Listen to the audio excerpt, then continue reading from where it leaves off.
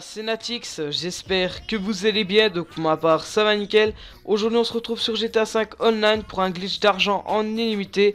Donc bien sûr ce glitch marche sur toutes les consoles.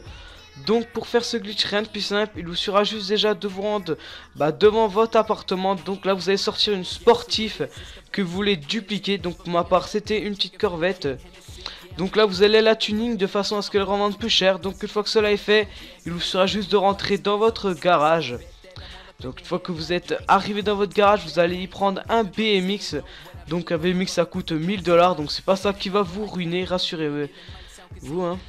Donc une fois que cela est fait, vous allez sortir de votre garage avec votre BMX et vous allez vous placer bah, devant, assez loin quand même.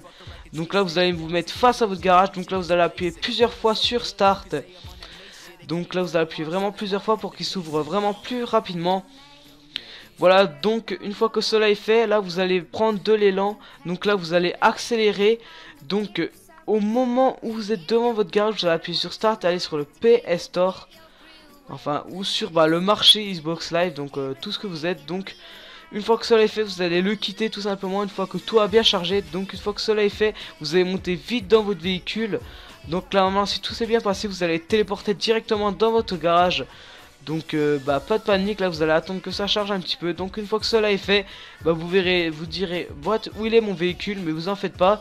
Il, il est tout simplement sur le bah, le port du BMX donc là vous allez prendre le BMX comme si vous prenez un BMX Vous allez voir en fait que vous allez respawn avec la voiture bah, La corvette que vous voulez dupliquer. Pour ma part c'était la corvette.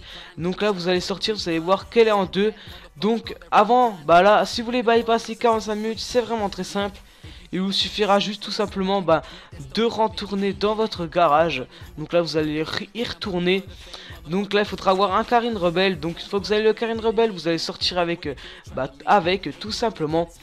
Voilà, donc euh, faudra que votre ami reste à côté, bien sûr, euh, si vous voulez que les véhicules ne disparaissent pas. Donc c'est le seul inconvénient de ce glitch. Donc une fois que vous êtes sorti du, garage avec le Karine Rebelle, vous allez retourner dedans et reprendre le véhicule. Donc pour reprendre votre véhicule, c'est très simple, il vous sera juste de faire comme si vous prenez un BMX. Donc là, en attendant, je vous invite à me rejoindre sur les réseaux sociaux, tous les liens se trouvent dans la description. Donc là, une fois que vous sortez de votre véhicule avec votre corvette, vous pourrez voir que vous l'aurez encore. Donc là, votre ami va devoir prendre le véhicule. Donc c'est soit il le prend pour lui ou soit il va le revendre. Donc là, vous n'avez plus qu'à aller vous rendre au LS Custom pour revendre votre véhicule en illimité en bypassant les 45 minutes. J'espère que cette vidéo vous aura plu. C'est le cas. Comme d'habitude, n'oublie pas de lâcher un maximum de likes et pourquoi pas t'abonner à ma chaîne. C'était Natix. Allez, bye tout le monde